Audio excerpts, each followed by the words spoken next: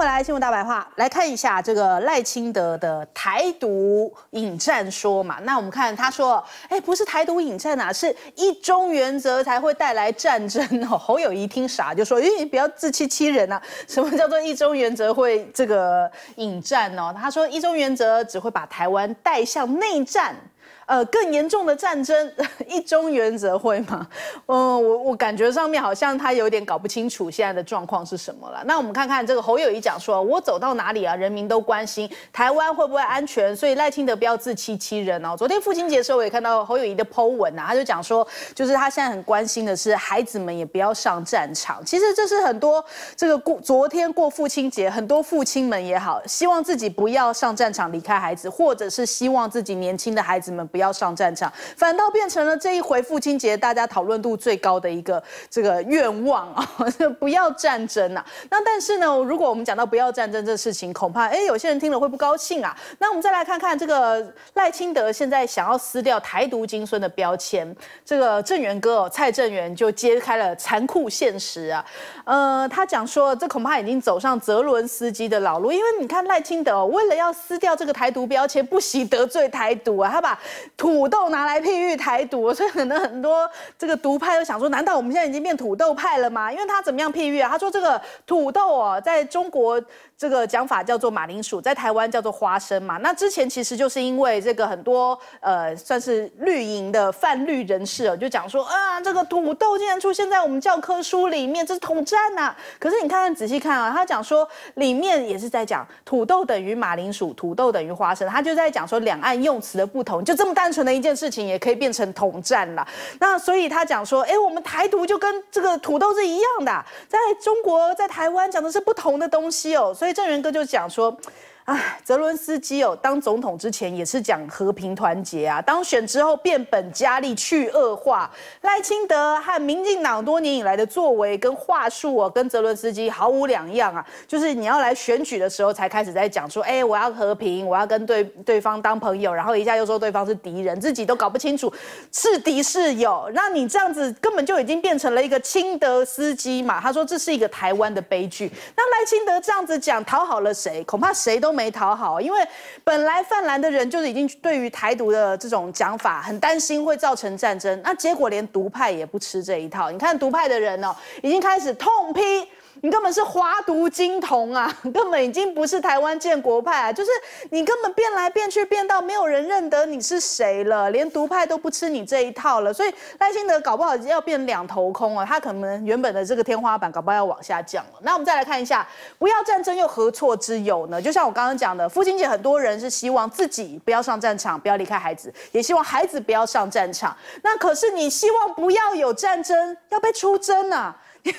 你要么选择战争，要么被出征。这为什么我们台湾人活得那么辛苦？你看看这一位台中的里长，他就是贴了一个看板，他说：“我爱台湾，谁当总统都可以啊，不准有战争。我的孙子才两岁，拜托拜托，但是不要有战争，这样子也要被出征哦。”他说他这个看板会一直放到明年的一月份大选完。你看王定宇出来讲什么？这块看板应该要挂在天安门广场才对啊！蓝营的里长论调根本就是帮助侵略者扫平防卫意志的爪牙。那这个王义川呐，就是说台这个大陆的高铁没有靠背的这一位了。我每次都提到他，我都一定要讲他这个头衔。他就讲说，这很像妈妈跟小孩说，乖一点，不要吵，祖国会给你钱呐。所以这样子，通通都要被出征，被这个政治人物或者是被侧翼这样子出征，不要战争还不行吗？那要战争你们去啊，为什么一定要？所有人跟着你们一起战争哦。那我们看看，现在台电亏损，全民买单。现在预估哦，大概亏损四千亿，濒临破产。恐怕接下来全民通通都要为了这个买账啊，等于一个家庭要多付十年的电费，才能帮台电还清债务。那预计到今年底哦，亏损就是可能快要超过资本额四千八百亿，已经逼近了。所以现在看起来是在恐吓全民吗？经济部要争取台电要再多挹注一千亿的增资哦。王美花的讲法是说。哎，我们都持续在精算啊，一定会让台电稳定运作啊。啊，这个就是忍不住要讲了，这这叫做没有再留子孙吗？蔡英文已经讲说没有再留子孙，那为什么我们一个家庭要负担那么多的电费呢？这就是你的能源政策出了很大的问题啊。那再来我们看一下，像执政者现在看起来啊，债务真的是留给子孙非常的多。王宏威委员他讲说是非可以这样颠倒嘛？因为蔡英文哦，就是财政部还替他辩护，说到一百一十二年七月月底，大概长期的债务是五兆元呢。那原本财政部网站的数字是到六月底的时候未偿还的余额是六兆五千亿。去年八月，其政院的新闻稿就讲说，哎，一百一十二亿，呃，一百一十二年度累积债务余额大概是六兆六千亿。怎么过了一年，债务就少掉了七八千亿呢？你在护航谁呢？那所以黄珊珊哦也有提到，他说现在这个预算呢，这个短短处呃短。短破了这个六千亿哦，不攻自破。他讲说，现在其实总预算是创了新高，但是创下这个蔡英文的执政新新高啦。那所以没有再留子孙的说法是不攻自破。那我们看看他现在跨任期借了一点五兆，蓝营就批评哦，说这是再留下一届的政府，因为你看到了现在二点四兆的特别预算，真正借款大概只有一兆元哦，还有将近一点五兆是将来借哦，所以。这个国民党下会期的审查预算的时候，也会提案把这些债务的余额删除，看看财政部是不是支持啊？所以我们也看这个韩国瑜也讲啊，这个民进党哦，贪污是谋财啊，可是把台湾推向战争是害命啊，所以就是一个谋财又害命的政党，所以难怪大家现在有六成的人希望下架民进党。我们来问一下强哥，我觉得赵少康现在定三条线吧。政治金童还是人家喊赵少康，他可没说自己是政治金童。我没有听到有一个人会会自己喊自己政治金童的，而且他不是金童的年纪。对对对。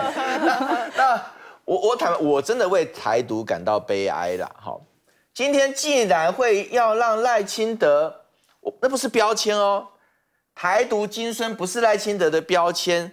是他的神主牌，哎，嗯，是他的信念理念，他的价值，哎，嗯，他自己拆自己神主牌，哎，嗯，你到底怎么会有一个人到最后你要公开站出来拆掉你自己的神主牌啊？好了，你说台独金孙你不是，那我给你一个名词，你绝对没办法否认，金孙可能瞧不起他啦，台独万岁爷总可以吧？台独万岁爷赖清德，你不能否认吧？你自己举了台独万岁的那个牌子，而且你现在已经不是孙，也不是童啦，你现在是爷，尊称你一声爷。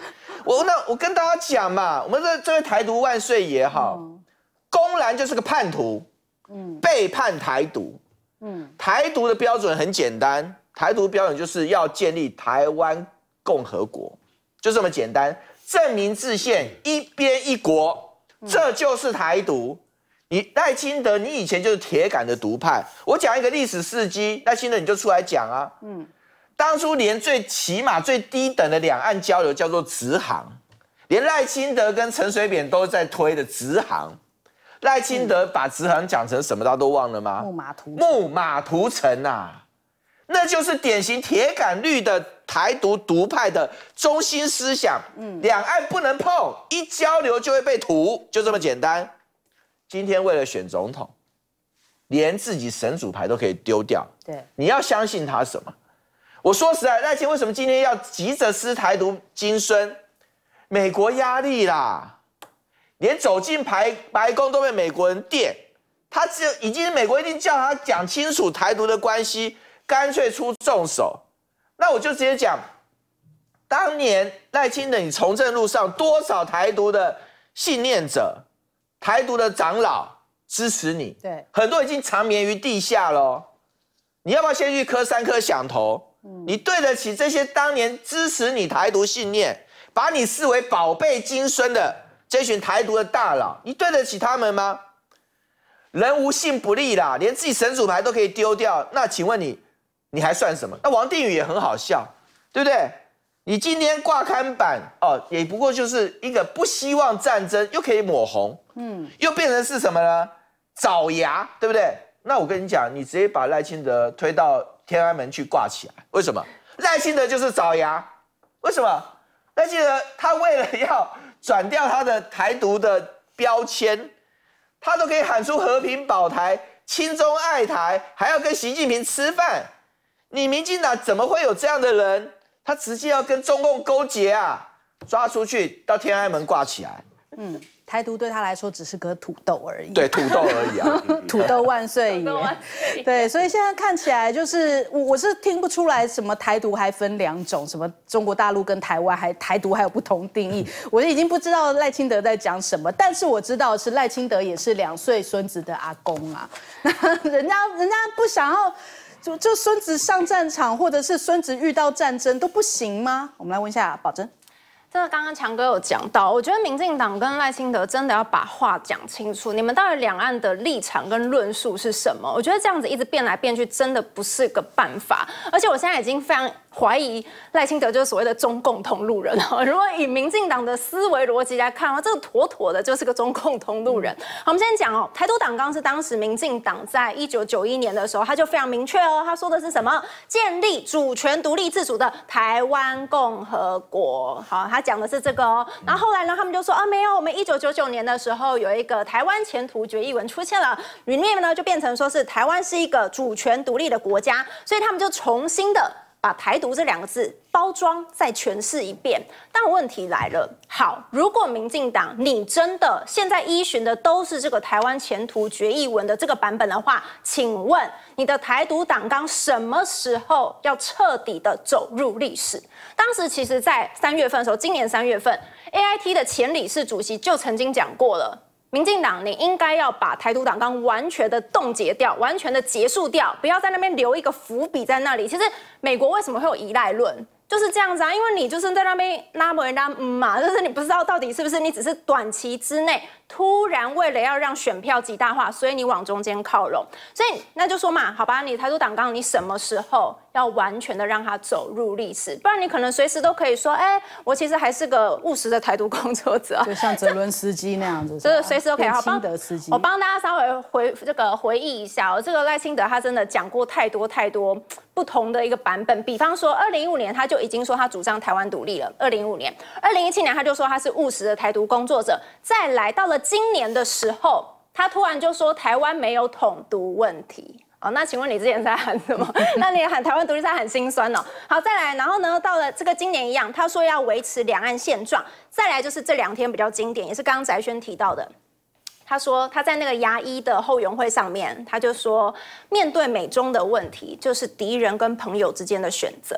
然后这句话听了以后，大家先歪头一下。再来隔天再看了一下电视专访，他就说哦，没有，我们没有要反攻大陆啊，我们跟中国还是可以做朋友啊。哎，那问题就来了嘛，如果你想跟中国做朋友，那请问你前一天所说的敌人难道是美国吗？这不是很搞笑吗？就是你自己要不要先去顺一下？你在这几天，光是这几天，你的说法就可以这么矛盾？请问你到底要让人民如何信赖你呢？哎，说不定他说的敌人真的是美国。我在想他美国会有依赖论。没有，我后来 我后来在脸书上发文之后，就有很多人回说，哦，没有啦，他的敌人应该是柯文哲，内部敌人。对我，我忍不住想要让董哥帮忙回应一下。刚刚有观众留言就说，哎呀，来。好奇怪哦，什么赖清德台独你们也要骂，然后他现在说不说台独你们也要骂，问题在这边吗？